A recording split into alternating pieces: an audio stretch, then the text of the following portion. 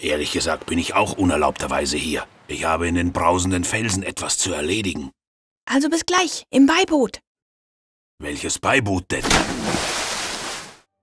Ahoy there. Nelly Kudelot, The Fall Fleet ist ein Point-and-Click-Adventure, in dem man ein Objekt mit einem anderen Objekt kombiniert, um dann ein drittes, neues Objekt zu bekommen, das man vorher noch gar nicht hatte. Faszinierend.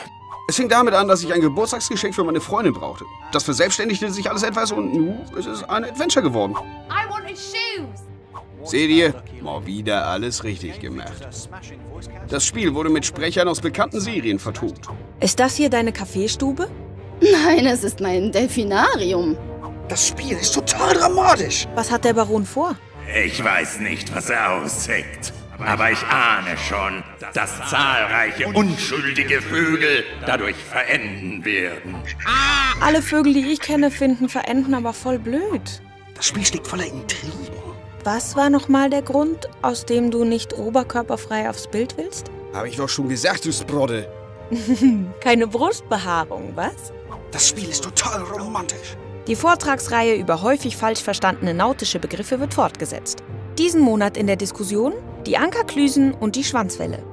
Okay, okay, keine Romantik. Aber die Rätsel und die Geschichte werden dich amüsieren. Egal, ob du nun 9, 19 oder 90 bist. Aber eben nur genau so alt. Also dann, auf ins Abenteuer mit Nelly Kudelot. Lichtet die Anker!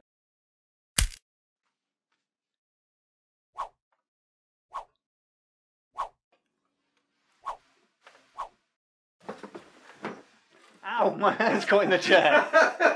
how, how has this happened?